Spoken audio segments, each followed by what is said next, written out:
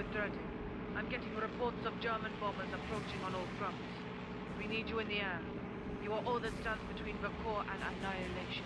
Clive, turn around. Go back to base. You can't handle this. You can't handle 50 bombers single-handed.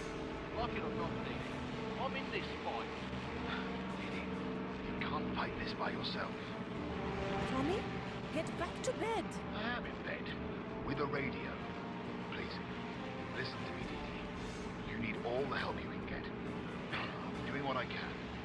Pray. I know you think I'm a drunken idiot. You don't have the monopoly on heroics, Dee Dee.